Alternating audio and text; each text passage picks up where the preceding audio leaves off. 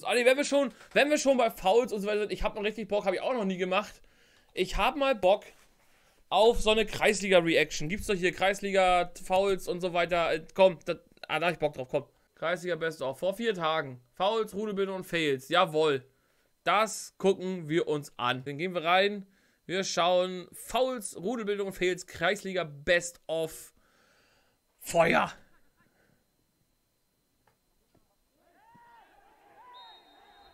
Was nu? Hä? Geht ja gleich gut los. Warte, ich muss gleich nochmal zurückspulen. Was ist denn da schon wieder passiert? Jetzt, okay, er fällt hin. Und er klammert ihn ein. Ist er doof? Er klemmt ihn zwischen die Beine ein. Was macht er denn?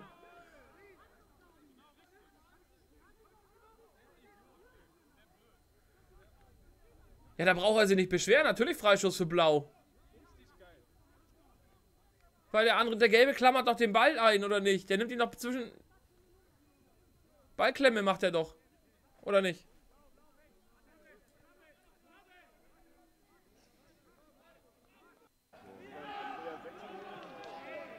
Ey, das ist ein Greifswald.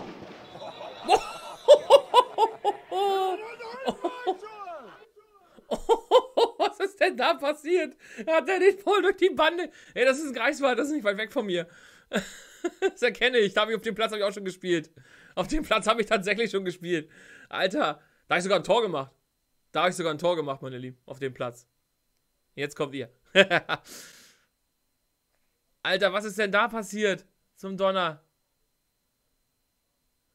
So, was hier ist los, weiß ich nicht. Was, macht, was der Schiri da macht. Keine Ahnung.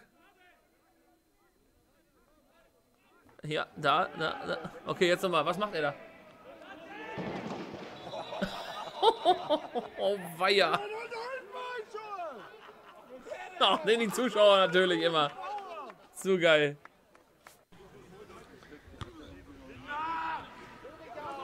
Ey, das könnte ein Germin sein.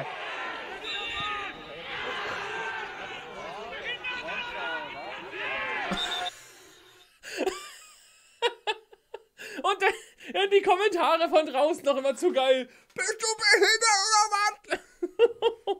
Ich meine, ich muss, ich muss zugestehen, ich bin auch nicht die ruhigste Seele, auf, äh, äh, wenn ich draußen bin oder auf dem Feld bin, egal. Ich weiß, ich, ich spiele nicht so oft. Aber ich muss zugeben, ich bin auch nicht die ruhigste Seele. Aber, aber wenn du sowas dann hörst, da, bist du behindert oder was? Äh, Körpereinsatz aber eigentlich nur bei der Bande. Ja, fand ich auch. War wirklich nur, er ist abgeprallt an ihm. Er ist halt, er ist halt wirklich einfach nur abgeprallt und, und fliegt dann durch die Bande. Ich liebe Kreisliga, wünsche ich mir die Zeit zurück. Ah, hast du auch mal gespielt? Der Typ im Hintergrund geht ab wie Braun, ach, Braun Strowman. Ja, wirklich. Aber das ist doch Germin, oder nicht?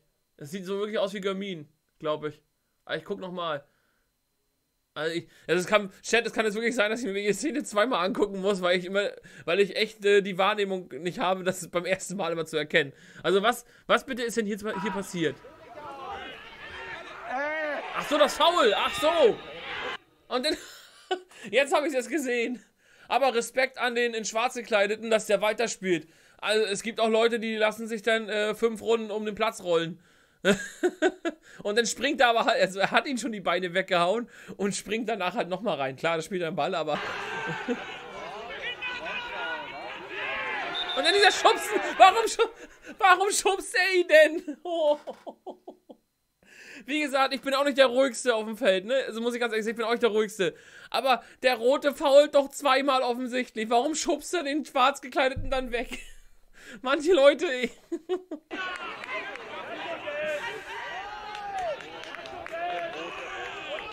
Der hat schon gelb, na klar. Der klassische Kommentar. Und rot sogar. Gelb-rot, der hatte wirklich gelb. Okay, das ist nirgendwo, was ich kenne.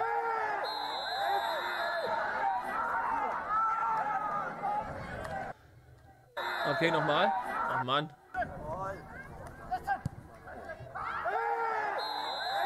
Ja, ist schon dämlich so reinzugehen. Ist schon dämlich da so reinzugehen. Ist halt eine Grätsche von hinten.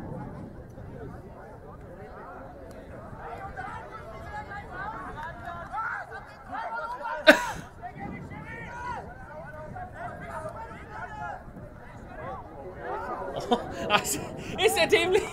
Ist er dämlich? Was will er denn? Ganz ehrlich, was, was will er denn? Meint er echt, das war eine Schwa Er grätscht ihn doch voll weg, oder nicht? Jetzt, also manchmal zweifle ich dann ja auch an mir selbst. Manchmal, ich liebe es, Zähne, Anlauf und dann ohne Rücksicht auf Verluste rein. nee, jetzt muss ich, also ich, ich zweifle ja wirklich manchmal an mir selbst, ne? Also habe ich mich jetzt irgendwie verguckt. Aber er grätscht ihn doch klar von hinten weg. Was will er denn?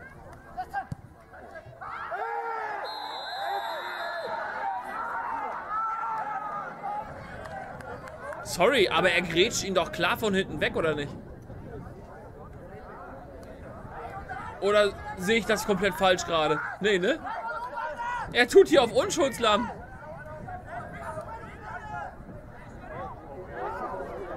Und dann brauchst du dich echt beschweren. Also, ganz ehrlich, ich brauch doch nicht ankommen mit, bist du behindert oder was? Er ist ein Schiedsrichter, macht auch noch, er macht einen Fehler, kann man sich nur aufregen, aber ich muss doch nicht direkt beleidigen. Ich könnte mich auch über manche Schiedsrichter aufregen und über deren Entscheidungen, aber bitte, ich beleidige ihn dann doch nicht. Also so dämlich kann man nicht sein. Und dann noch dieses die Spucke hinterher. Also blöde, sorry, ich will kein, aber gehört sich nicht. Komm, gleich fünf Spiele mindestens Sperre. Für so einen Müll.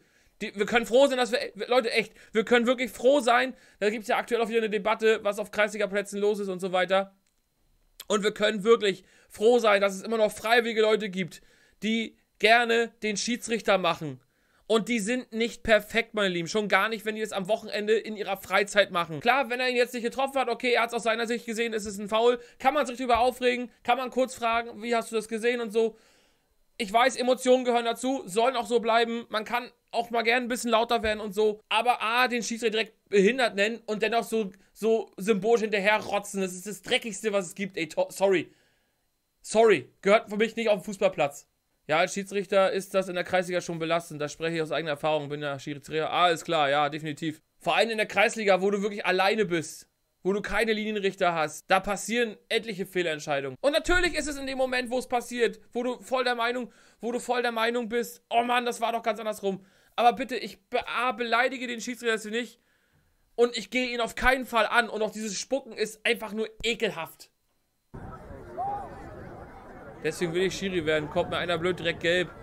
Dann direkt rot, wenn der noch blöd kommt. Ah, da wird es manche Spiele geben, wo denn nicht, wo die nicht mit 11 gegen 11 zu Ende gehen. Aber in dem Fall, Chat, liege ich da richtig. In dem Fall hat er ihn doch wirklich umgegrätscht. Oder war es wirklich eine Schwalbe? Also er, er, regt sich doch vollkommen zu Unrecht auf. Er grätscht ihn von hinten im Strafraum ab. Sorry. Einfach dämlich. Oh.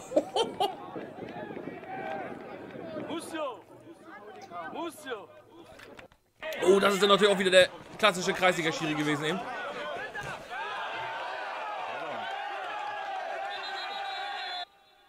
Oh. Er spielt halt aber echt den Ball, ne? Er spielt halt aber echt den Ball. Nochmal.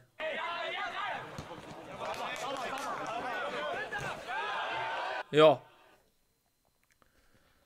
Der hat den Schuh noch an, kein Foul. der Vollotti. Richtig. Man kann sauer sein auf den Schiri, man kann sich beschweren, aber alles, irgendwo, alles sollte irgendwo noch im Rahmen bleiben. Und noch nie hat ein Schiedsrichter eine Entscheidung dann zurückgenommen. Es sei denn, es geht wirklich der Gegenspieler hin und sagt, ey, sorry, ich bin freiwillig gefallen. Ne? Also. Aber hier in der Szene, klar, er rutscht halt rein wie ein Wilder, ne? Aber er spielt halt auch sauber den Ball, ne? Er spielt hier halt auch sauber den Ball.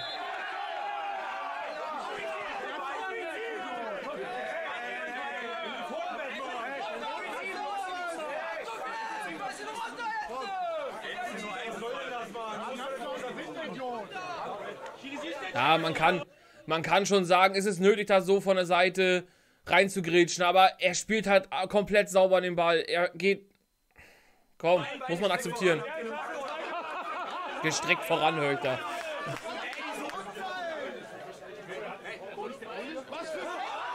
Oh, das ist aber schon. Nee, muss echt nicht sein. Man kann ja, man kann ja aus meiner Sicht faul pfeifen wegen gefährlichen Spiels. Man kann aus meiner Sicht faul pfeifen wegen gefährlichen Spiels, aber ich muss ihm doch jetzt nicht gelb dafür geben. Er spielt halt sauber den Ball ab. Ich spule nochmal für Otti zurück.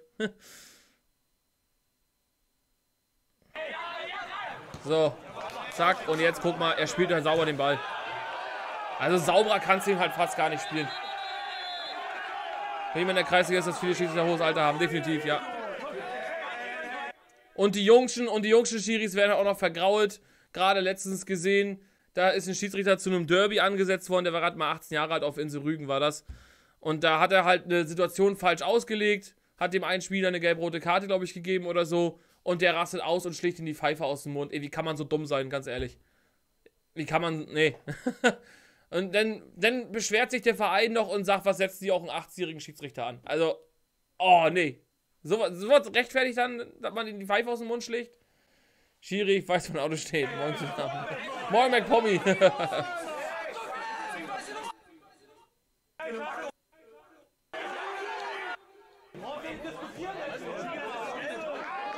Oh, da gibt doch eine... Ge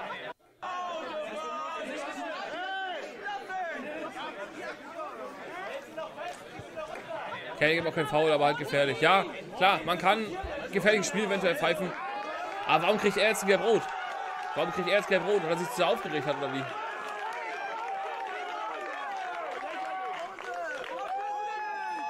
Wir verlieren jeden Zweikampf am Ball.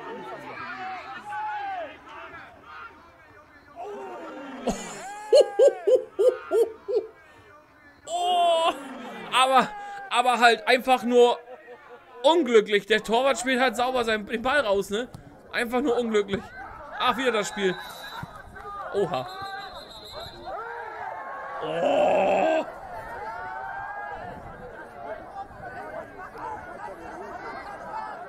Auch wieder so typisch, ne? Warum schubst er ihn denn da weg, Alter? Aber was war hier jetzt nochmal los? Wie gesagt, ich muss halt viele Szenen doppelt gucken. Weil ich das im ersten Moment gar nicht so mitkriege. So, jetzt eine Ecke. Ja, springt ihn halt so ein bisschen in den Rücken, ne? Er springt ihn halt einfach in den Rücken. So, Schiri geht weg. Ja, ist ja auch geil. Warum geht der Schiri da weg? Na gut, er muss sich das nicht antun da. Torwart schubst ihn dann noch, weil er da halt so reinspringt. Auch unnötig vom Torwart, ganz ehrlich. Hey, ein paar härtere Zweikämpfe. Ein paar härtere Zweikämpfe. Müssen ja auch mal sein. Der Schiri einfach weg, gar kein Bock, ja. oh, herrlich gemacht. Bramfeld 2 gegen Stapelfeld. Ist das Hamburg oder wo ist das? Wo rennt er denn hin? Oh! Knierutsche auf Kunstrasen. Ist der denn dämlich? oh, Knierutsche auf Kunstrasen. Oh, das tut so weh. Beim Zugucken schon.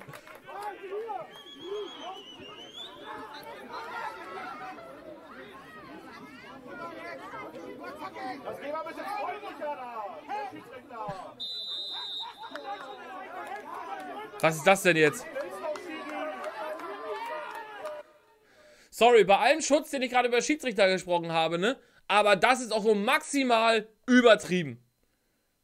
Also ich habe jedes Verständnis für jeden Schiedsrichter, aber dann gibt es halt auch diese Schiedsrichter, wo du denkst so, Alter, spiel dich nicht so auf. Und das ist mal immer noch aufspielen.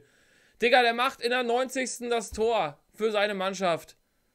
Der macht in der 90. das Tor für seine Mannschaft, lässt sich ein bisschen länger feiern.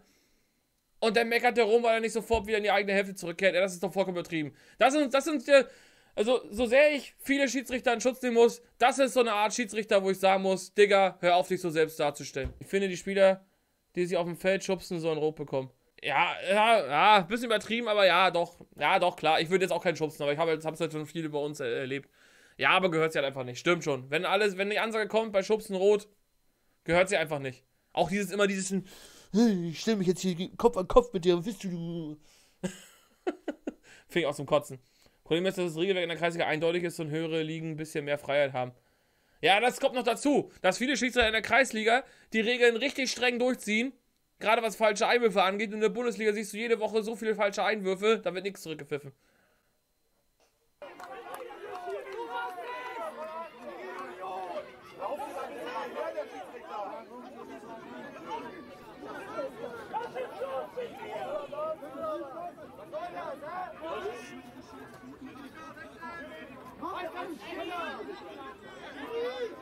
Alter, wie lange diskutieren die da dann jetzt auch? Und dann gibt's noch glattrot hinterher, oder was? Ah, das ist. Oh, sorry, das ist wirklich Schiedsrichterkategorie Selbstdarsteller.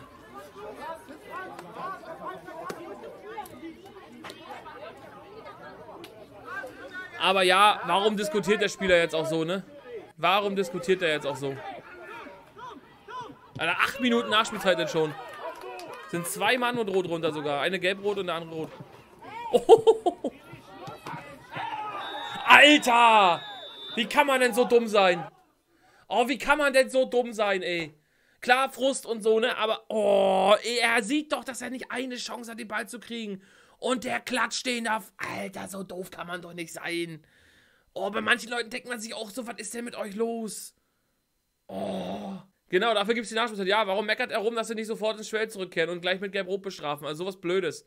Und dann diskutiert der andere noch ewig weiter, dann gibt er noch gleich Rot. Wie gesagt, Kategorie Selbstdarsteller. Aber das eben für die Mannschaft ist eine verdiente rote Karte. Auch wenn es Frust ist, aber trotzdem. Das muss doch echt nicht sein. Das sind die gleichen noch, Ian King. Aber wieder geht und extra springt. Hat er ihn jetzt ein Rot gegeben? Ne, jetzt zückt er sie. Ah, jetzt. Ja, na klar, ist so, Digga. Da brauchst du dich echt nicht beschweren. Das ist halt rot. Ja, das ist halt wirklich rot.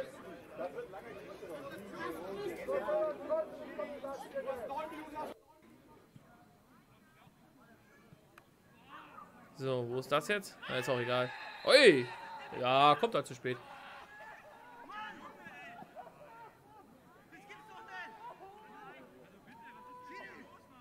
Ui. Ui.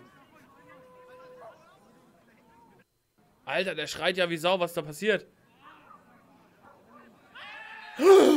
Hat der ein Ding an der Waffe? Das habe ich ja gar nicht gesehen.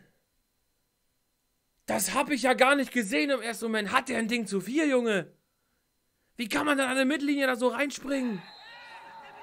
Ja gut, er entschuldigt sich. Oh, und nur gelb. Oh, und nur gelb. Uha. Das ist rot, Alter. Das ist sowas von rot. Der springt ja mit Ansatz rein, aber wirklich. Oh. Aber er entschuldigt sich. Also, ja, klar. Hut ab, dass du sagst, hier, ich entschuldige mich.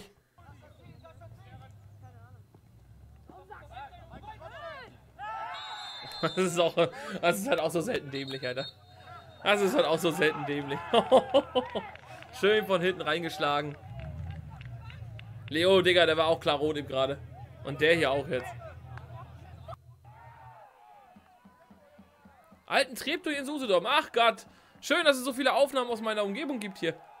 Sind aber alles schon ältere Sachen auch.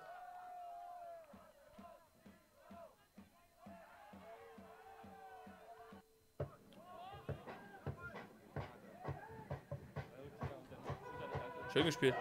Oi! Und? Wie jetzt? Oh, das ja wie Aue eben.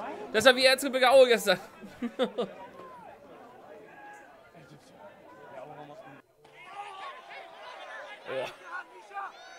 Das muss Burg Stargard sein, auch bei uns in der Umgebung. Ey, ich fasse es nicht, wie viel hier von uns zu euch ist.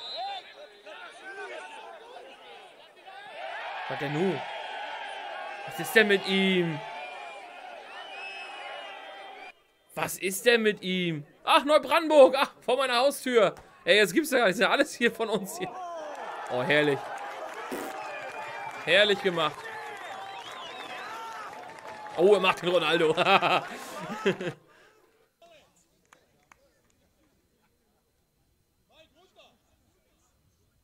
Was ist das denn? Hä? Haben die einen Gegentor kassiert und machen jetzt erstmal alle Liegestütze? Wie geil ist das denn, Alter? nimm mir mit, nimm mir mit, wieder. Und komm doch mal, helf ihm.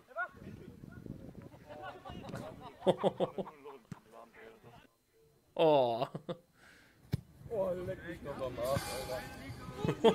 Geile Ecke. Kann man mal so treten. War einfach nur Treter unterwegs. Ja, habe ich auch so manchmal das Gefühl. Herrlich gespielt. Ui! Huch!